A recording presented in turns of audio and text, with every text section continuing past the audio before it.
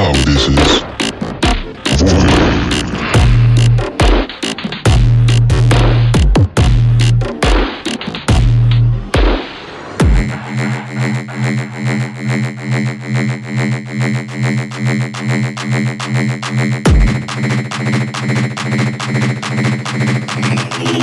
Shit's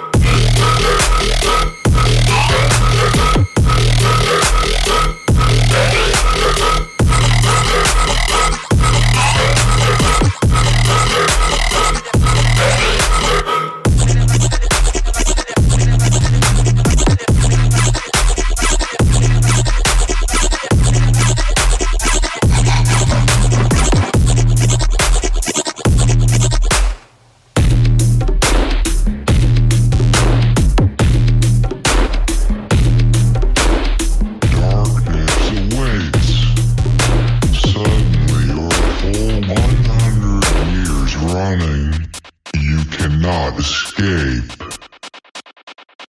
The void